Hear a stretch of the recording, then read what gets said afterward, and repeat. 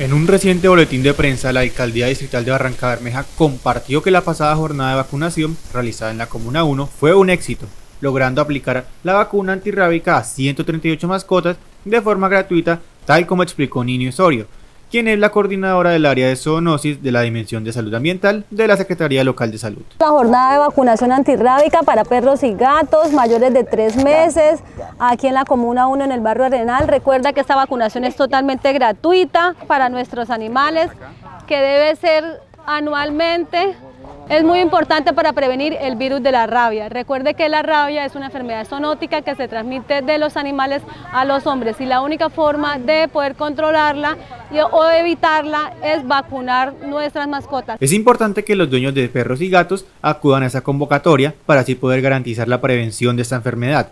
Aquellos que asistieron con sus mascotas se muestran agradecidos por el espacio y extienden la invitación al resto de la población. Yo pienso que toda persona que tenga una mascota pues debe quererla como si fuera un hijo.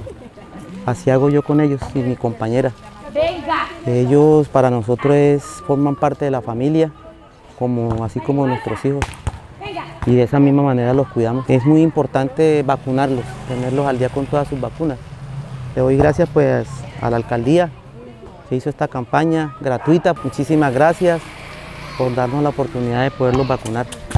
Los propietarios de este tipo de mascotas que habitan en las comunas del distrito deben estar atentos al anuncio de la Secretaría de Salud para conocer el cronograma futuro de más jornadas gratuitas de vacunación.